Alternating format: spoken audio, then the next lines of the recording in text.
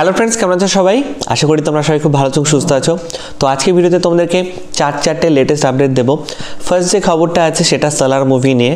তো কেজিএফের মেকার্সরা নতুন সিনেমার অ্যানাউন্সমেন্ট করে দিয়েছে সালার এবং এখানে আছে আমাদের সুপারস্টার প্রভাস সুপারস্টার নাম মেগাস্টার এখন সবাই তাকে বলে। তো প্রভাসের অপোজিটে হিরোইন হিসেবে কাকে দেখতে পাওয়া যেতে পারে সেটা নিয়ে অনেক কনফিউশন ছিল।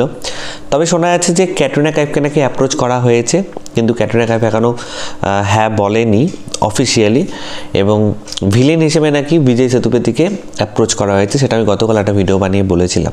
তো এগুলো জাস্ট রিউমার শোনা যাচ্ছে কিছু, হয়তো অ্যাপ্রোচ করা হয়েছে, এরকম অনেককে অ্যাপ্রোচ করা হয়, কিন্তু ফাইনালি মানে যে রাজি হয় সেই অফিসিয়ালি মানে জানায়, তখন টিমও জানিয়ে দেয় যে he or she is on board এরকম করে কিন্তু জানিয়ে দেয়। তো ক্যাটরিনা কাইফ যদি থাকে, অবশ্যই ক্যাটরিনা কাইফ অ্যাকশনও ভালো পারে। আমরা দেখেছি এর আগে টাইগার জিন্দা হে বা অন্যান্য আরও ব্যাং ব্যাং এই ধরনের সিনেমাতে। তো এখানে সালার যেহেতু পুরোপুরি একটা অ্যাকশন বেস সিনেমা, তো এখানে ক্যাটরিনা কাইফকে নিলে আশা করি একটা ভালো চয়েসই হবে।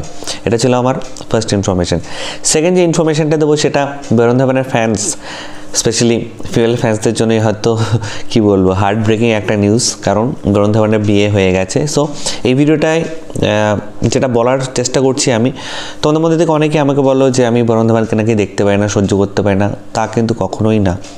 তার সাথে মানে পার্সোনাল কী প্রবলেম থাকবে আমার? সে হিরো আমি ভিউয়ার আমি তার সিনেমা দেখি, ভালো লাগলে ভালো বলি, খারাপ লাগলে খারাপ। অক্টোবর দেখেছি, বদলাপুর দেখেছি, ভালো লেগেছে। তার লেটেস্ট কিছু সিনেমা আর ভালো লাগেনি সেগুলো বলেছি। তো হ্যাঁ তার বিয়েটা নিয়ে আমি গতকাল একটা ভিডিও বানিয়েছিলাম যেটা বিয়ে তো অলরেডি এদের বিয়ে মানে নাটকই হয়, কিন্তু মিডিয়া আছে, কিছু কিছু চ্যানেল আছে যারা এটাকে সার্কাস বানিয়ে দেয়। তো তাও দেখলাম যে অনেক মানে কি বলব, আড়ালে রেখেই এই বিয়েটা মানে সম্পন্ন করা হয়েছে। So congrats to both of you Varun Dhawan and his newly wed Natasha Dalal wife তো খুব সুখে থাকুক, শান্তিতে থাকুক, এটা সবসময় আমি উইশ করব। তো দেখো, ভালোই হয়েছে। আমি এখনও মনে পড়ে যখন অভিষেক বচ্চনের বিয়ে দেখেছিলাম, তখন মানে সকাল থেকে দেখাচ্ছে, এই অভিষেক বচ্চন রেডি হচ্ছে, এই দাড়ি কামাচ্ছে, এই পটি গেল, এই তো গাড়ি উঠবে, গাড়ি স্টার্ট হলো, পৌঁছে যাচ্ছে, রাস্তায় আছে, পৌঁছে গেছে চেয়ারে বসেছে রেস্ট নিচ্ছে, এই মাথায় মুকুট পড়ল মুকুট নামালো। মানে সত্যি সার্কাস লেগেছিল। এইটা অ্যাটলিস্ট ওরকম কিছু হয়নি। এটা একটা গ্র্যান্ড ওয়েডিং ছিল। এবং প্রচুর ছবি দেখলাম। ভাইরাল হয়ে গেছে। যে বরুণ ধাওয়ান ইনসাইট তাও মিডিয়া তো অল্প থাকবে, তাই না? সবাইকে অ্যালাউ করা হয়নি। তো এটা ছিল মানে সেকেন্ড ইনফরমেশন আমি বলব না। তাদেরকে আমি কংগ্রেস জানালাম এই ভিডিওর মাধ্যমে। এবার থার্ড যে খবরটা দেবো সেটা হচ্ছে আমাদের বাংলা ফিল্ম ইন্ডাস্ট্রির প্রেম টেম বলে একটা নতুন সিনেমা আসছে এইচবিএফ থেকে। অনিন্দ স্যার বানাচ্ছেন। অনেকদিন পরে আবার দেখতে পাচ্ছি অনিন্দ স্যার একটা সিনেমা তো প্রেম টেম এটা ট্রেলার রিভিউ আমি করিনি এক্সট্রিমলি সরি খুব তাড়াতাড়ি করব। তো এই সিনেমার একটা নতুন গান রিলিজ করেছে জল ফোরিং two point o. Hemlock Society সিনেমাতে এই গানটা আমরা শুনেছিলাম শিলাজিতের গলায়। এবার মিউজিক ডিরেক্টর নিজে অনুপম রায় গেয়েছেন এবং একটা কলেজ ফেস্টের একটা সেট দেখতে পেলাম, যেখানে অনুপম রায় হিমসেলফ নিজে সেই রোলটা প্লে করছেন এবং অডিয়েন্স আছে, ছাত্র, ছাত্রীরা আছে। আমার তো এই টু পয়েন্ট ও ভার্সন গানটা বেশ ভালোই লাগল।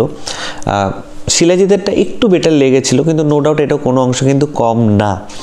অনুপম রায়ের গলাতেও বেশ ভালো লাগছে, কিন্তু অ্যাকচুয়ালি ওটা শুনে শুনে মানে কি বলব মানে জলফানি গানটা বাজলে শিলাজিতের গলাটাই আসে। তো সেই জন্যই একটু আর কি উনিশ আর বিশ। কিন্তু অনুপম রায়ের ভয়েসও বেশ ভালো লাগছে এবং পিকচারাইজেশনও খুব ভালো হয়েছে।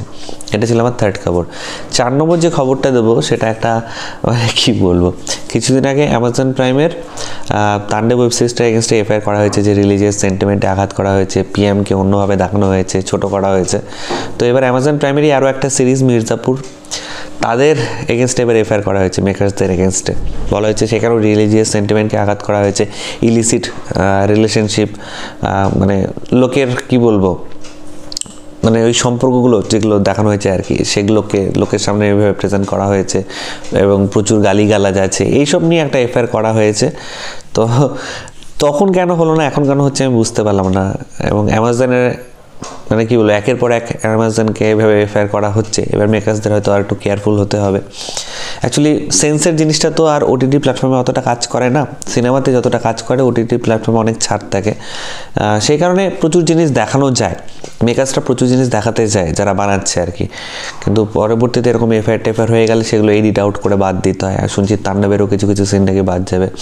তো যারা এখনও দেখেনি, মির্জাপুরের থেকেও যদি এডিট করে বাদ দেয়, তো যারা এখনও দেখেনি, তারা তো মানে মজা অনেকটাই কমে যাবে আর কি। আর মজা ইন দ্য সেন্স বলছি মেকার্স তো একটা তার হান্ড্রেড পার্সেন্ট দিয়ে বানিয়েছে, সেটা কোথাও কি নাইনটি পার্সেন্ট ভিউয়ার্সদের কাছে অ্যাভেলেবেল থাকবে, সেটাই বলার চেষ্টা করলাম। তো এই ভিডিওতে এই ইনফরমেশনগুলি তোমাদের সাথে শেয়ার করা ছিল। তোমাদের কার মতামত? নিচে কমেন্ট সেকশনে অবশ্যই লিখে জানাও। আমার ভিডিওটা ভালো লাগলে লাইক কমেন্টে শেয়ার করতে একদম ভুলবে না। তোমরা যা যা এখন রিজেস্ট ফ্যামিলির সদস্য উঠিনি নিচে যে রেড সিসকম বাটনটা আছে, সেখানে ক্লিক করে নাও এবং সাথে সাথে আমাদের পরিবারের সদস্য হয়ে যাও।